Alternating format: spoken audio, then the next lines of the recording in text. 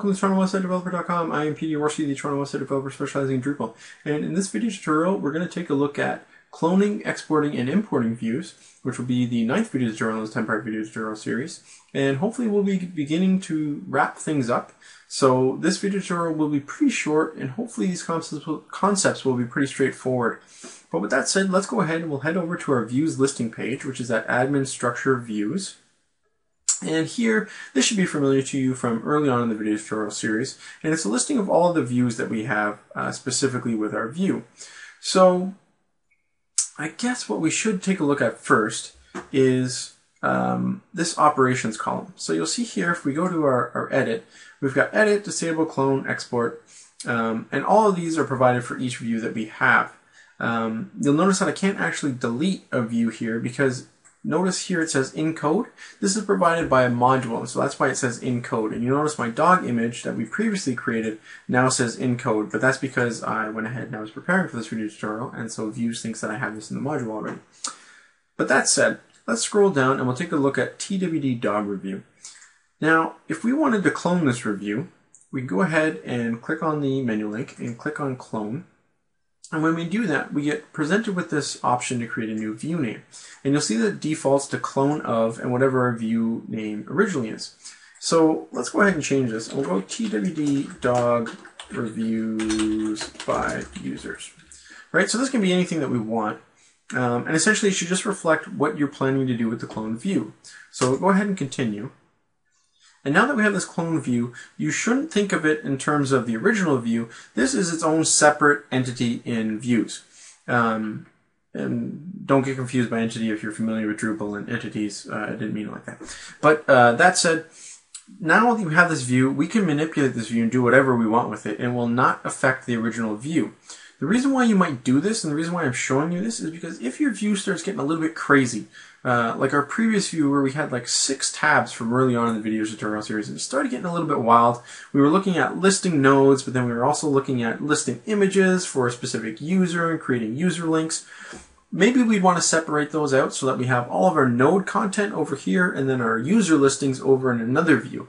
We can do that by cloning the view deleting all the node stuff for our new user view, and then keeping all of the node stuff and deleting the user stuff in the original view. Um, and that's an easy way that would take us a quick couple minutes, and then we'd be able to separate and keep things um, separated and clean. So anyone that's coming to work on this site after us would be able to know exactly what a specific view does. Uh, and that that's the, the I mean the primary use that I've ever found for, for cloning views. Now, on to the next concept, which is actually exporting our views. Uh, and there are a couple of reasons why you might want to export a view, and I'll walk through each one of those for you. But just like we had on our, uh, you know, to clone, we click on this menu link, and you'll see we've got this option to export now.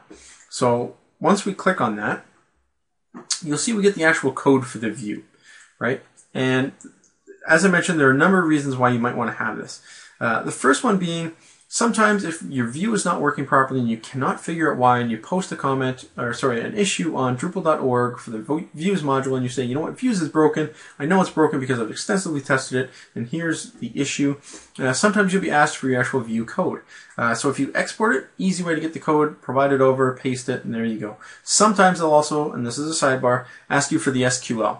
Uh, the actual SQL query. And you provide that by looking at your view. You've got to make sure in the settings for views that you have the SQL query turned on. And we did that earlier on in this video tutorial series.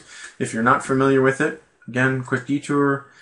Up here in settings, you're going to scroll down, show the SQL query.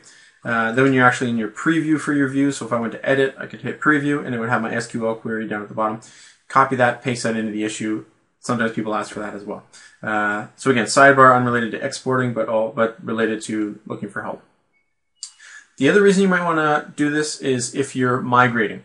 Uh, you could be migrating from Drupal 6 to 7, 7 to 8. Um, sometimes you'll need to export views and import them to make sure that they work properly. So, so that uh, has happened for me.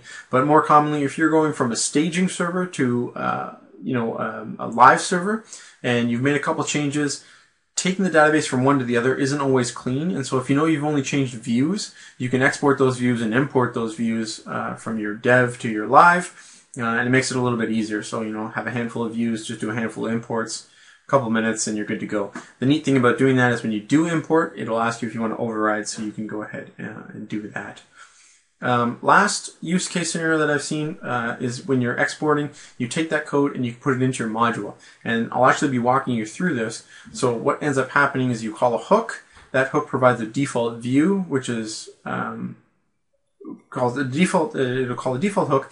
It'll load in your view as a default view, and then it'll be listed here on your views listing. So that's why you're seeing in code here because my module is currently set up to do that, and I'm going to walk you through how I actually did that. So why don't we take a look at importing before we actually go and look at creating the code for your module, uh, just to give you an idea because it's so straightforward uh, and real simple to do. So we'll go ahead and, oops, didn't want to click clone. What I want to do is I want to export.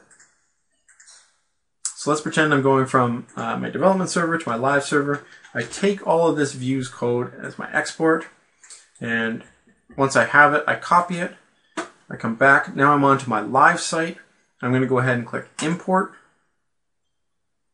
I'm going to paste the code here, and then it's going to ask me for a view name. What this means is only if you want to change the view name that you're already using. So I don't want to do that because I'm going from staging to live, so I'm going to keep that, and you'll see that my original name from staging is uh, twd underscore dog reviews. You'll see that I've got the option to replace an existing view. So if I'm updating a live server, I want to do that because I know that this now works better, so I can replace that. And you can bypass view validation. I wouldn't recommend you do this. You can do this if you know that something might be wrong with your handlers, but you still want your code in there, and then you're going to update your handlers. Uh, not necessarily a good idea unless you know what you're doing. So go ahead and click import. And now I've got my view actually imported onto my live site. I would go ahead and click save because all changes are only stored temporarily. And there we go. Now I can go back to my views listing page and I've still got TWD dog review listed right?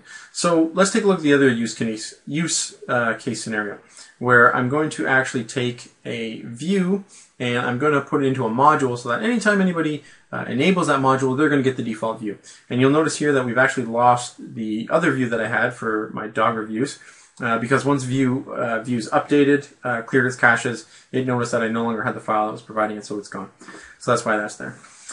So let's take a look at this. In order to do this, we have to go back to our custom module, and what we need to do is provide a new file. Um, and in order to get the information for that, we're going to head over to drupal.org slash API uh, slash Drupal 7. And of course, my page is not found. And just like before, we'll do our quick search for views.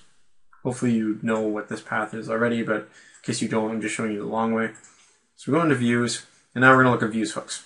So views hooks, one of the views hooks that is provided is hooks views default views. And if we click, you can read the description here. It actually says that, you know, for your modules provide their own views, uh, you know, that can be used as as is or starters. You want to call this hook. So let's click into it. We'll get some information here right at the top. It tells us actually how to implement this. So what we need to do is create a file, which is our module name dot views underscore default dot inc. So let's go ahead and do that.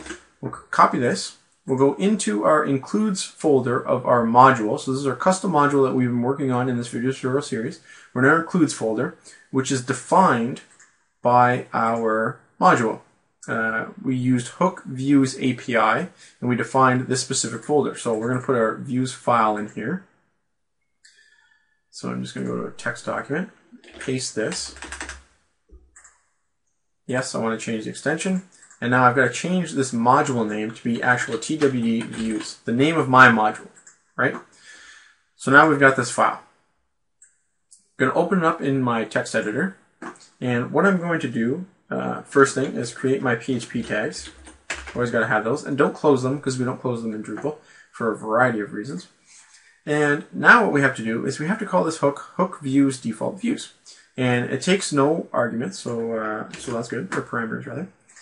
And, and we should add our, you'll notice that this is not my default uh, development, but we have to add implementation of hook, TWD, hook, whatever it is.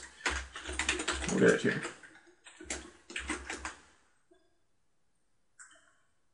Right, and so this is just so that we document our code. This is best practice, especially if we're contributing this back. So implementation, obviously we'll capitalize that.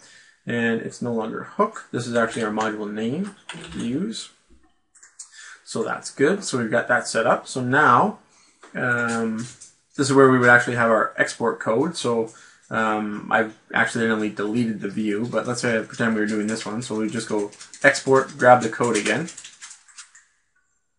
And so with the code, we go back into our module and we're going to go ahead and paste this. And so paste a little bit ugly. We should obviously format this, but I'm not going to do that for the sake of the video tutorial.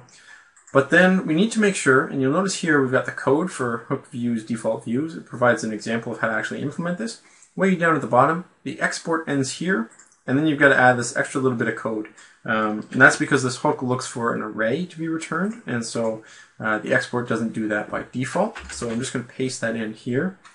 Um, so you'll see here I've got this uh, array of views. I'm only adding the one, so we don't have to repeat for the other. So I can go ahead and take this out. And then we're going to return the array, so return the views. We'll go ahead and we'll save that.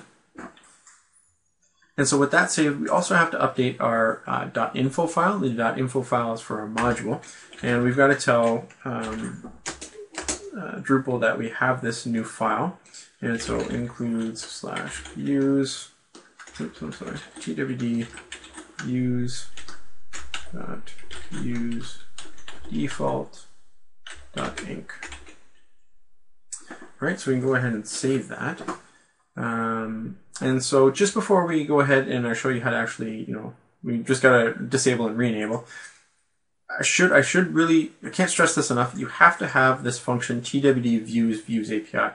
If you're creating a module and you're not necessarily integrated with views, but you want to provide a default view, you have to call this hook in your module uh, because this path, uh, you know, even if it's not uh, a specific path or it's not included, without this hook, views will not look for the other uh, hook. So it will not load this specific file and it will not call your new hook, uh, and you will not get your view listed in the views. So make sure that you implement hook views API, otherwise you will have problems. That said, let's head back to our site. We're going to go to our modules, and there's no easy way to do this, but we have to disable and then re-enable. So we're going to scroll down, custom module here, disabling it. Great, so now we're going to scroll back down, enable it, back to structure views, and if we look, we've got dog image now, and it's actually provided in code, and we get all of these different, um, you know, pages and blocks associated with it. So that's pretty cool. So that's the end of the video tutorial. Um, so again, just brief recap, we did the clone, we did the export, we did the import, and then we provided um, uh, some code for our module so that we provided default views. And we did that with a simple hook call uh, with the available information over at api.drupal.org. So I hope this helped. Uh, it was pretty straightforward. In the last video tutorial, we'll recap the entire series. I'll show you some cool add-on modules for views uh, that are common, um, commonly used, uh, and things that I would recommend. And before I go, you probably heard Susie enter the room, and so she's been in so many photos, we should probably introduce her. And so this is Susie. And so Susie and I both hope you liked the video tutorial. And if you did, please leave a comment, let us know, or throw me a thumbs up. Always appreciate that. Um, we'll see you in the next video tutorial. Thanks.